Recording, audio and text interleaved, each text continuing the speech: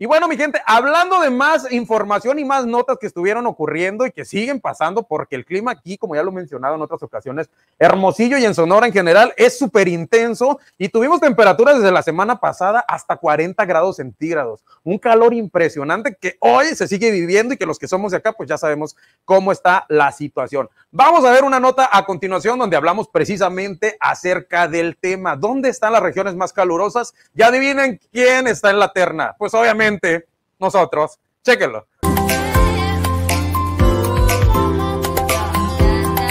¿Tú sabes cuáles son los lugares más calurosos de México? Nuestro país se caracteriza por una extensa variedad de climas, desde temperaturas frías en las montañas hasta cálidos valles y desiertos. En realidad lo tenemos todo. Pero, ¿cuáles son los lugares más calurosos de México? Entérate a continuación. Si te preguntas dónde hace más calor en todo el país, debes saber que por su variedad de climas y geografía, México disfruta de una gran variedad de temperaturas. Aunque la mayoría de las temperaturas en México dependen mucho de la latitud y orografía, la estación del año también tiene gran impacto, en especial sobre todo en el norte del país. Los lugares más cálidos de México son las zonas tropicales, pero no siempre ocurre durante el verano. Sabemos que las regiones que han llegado a tener las temperaturas más calurosas del país no necesariamente son las que tienen las temperaturas promedio más cálidas anuales. Por ejemplo, aunque el estado de Sonora sí es uno de los estados donde se registran temperaturas más cálidas en el verano, como San Luis Río Colorado, donde se han registrado una temperatura máxima de 52.5 grados en septiembre del año 2001. La temperatura media anual de este estado es entre 17 a 22 grados. Si visitas el norte del país en verano, tienes una gran probabilidad de experimentar las temperaturas más cálidas en esa época en dicho momento. Los estados de Sonora y el norte de Baja California pueden llegar a tener temperaturas de más de 46 grados centígrados y muchas veces durante varios días o semanas. De cualquier modo, es importante venir a visitar a este tipo de zonas.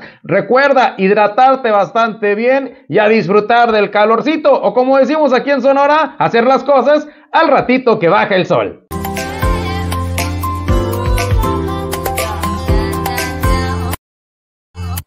Pues ahí está, mi gente, algo muy ad con el tema y la situación que estamos viviendo actualmente, ya lo decíamos, el calorón que se vive en diferentes regiones del estado de Sonora, clima más seco aquí en Hermosillo y allá en Obregón, que nos están observando, les mandamos un saludo, sude, sude y sude. Entonces, pues bueno, protegernos con el tema de las altas temperaturas, hay que usar bloqueador porque también hay cáncer de piel y todas esas situaciones que podemos evitar si tenemos un buen cuidado del mismo y no salir a las horas fuertes de preferencia. Y si no, pues a cuidarse. Vámonos ahora con esto de eh, situaciones que se viven en Hermosillo referente al mismo tema. Nos fuimos a preguntarle a la gente qué piensan o cómo combaten el calorón que ya está haciendo. Y esto fue lo que nos contentaron sondeando. Chéquelo.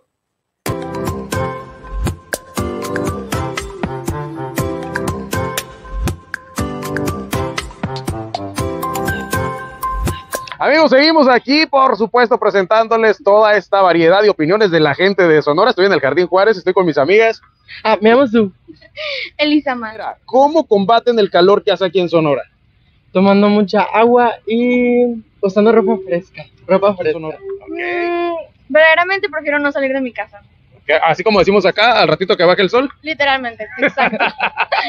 tiene tanto, esa, tiene tanto de verdad esa frase. El calor que hace aquí en Sonora, que pues es bien intenso y todo eso, ¿cómo combate usted el calor? ¿Cómo se cuida? ¿O algún ejemplo que nos pueda dar? Pues por ejemplo, por decirlo así, tomar mucha agua, tratarse con mucha agua, eh, comer sanamente, porque la comida es la que hace daño por el calor. Y, y pues como dice usted, puede ser combatirlo en la sombrita o en la casa, que no salir. ya que baje el sol. Que baje el sol, o tal vez la refrigeración en la casa, sabiendo que hay una buena lana también. Pero todo bien. ¿Cómo eh, combates el calorón que vivimos aquí en Sonora? ¿Cómo lo combates? No, pues, pues aquí en Hermosillo, pues es un calor de, no te imaginas, ¿no? Lo que hago es eh, pues si no hay aire, pues con abanico, cualquier cosa que nosotros ahí preparamos, una mexicana se conoce aquí, y ya pues así, ¿no? con cualquier papel así. Oye, ¿y cómo te hidratas? ¿Qué tipo de bebidas tomas? Agua, aguas, tomen agua, muy saludable. Ahora estoy con Uriel Soto. Oye, ¿cómo combates el calor tú aquí en Sonora? Poniéndose en la sombra. Ok. O tomando algo helado. Excelente, ¿no piseas? No, María, usted ya conoce el clima de acá con tantos años viviendo. Eh, ¿Cómo combate el calorón que vivimos acá en Sonora, en Hermosillo particularmente? Pues tomando agua y manteniéndome en la sombra. Oiga, ¿y cómo sintió ese cambio de clima cuando llegó acá? Porque yo sé que en Michoacán no hace tanto calor como acá. Eh, pues yo pensé que no iba a aguantar y gracias a Dios aguanté. Es muy diferente el clima. ¿Sí, Ingrid, el calor? Sí. ¿Se regresaría a su tierra? No. no, ya es usted sonorense.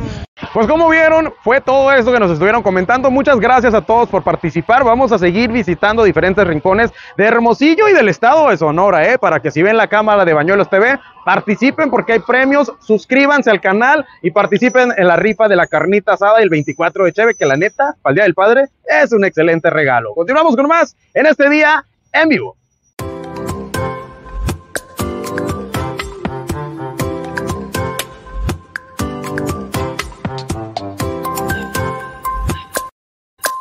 Pues ahí están las diferentes maneras en la que la gente de Hermosillo combate el calor muy a su estilo. Hay que protegerse, les insisto nuevamente, porque está muy, muy fuerte. Nada más yo, en cuestión de tres, cuatro cuadras que me aventé caminando, sí fue muy intenso y sobre todo, mira, todo quemado acabé. Y de hecho tenemos algunas imágenes allí acerca del mismo tema para que vean cómo también se vive este tema de altas temperaturas como la lumbre ahí presente o el fuego.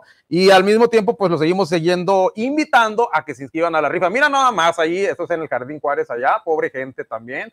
Eh, mis respetos para quien hace labores allá eh, a altas horas de, bueno, de más bien de altas temperaturas a ciertas horas donde el calor está muy intenso es, no es broma, mi gente, la verdad, eh, tiras un, huevo a la banqueta y seguís a veces del tremendo calor.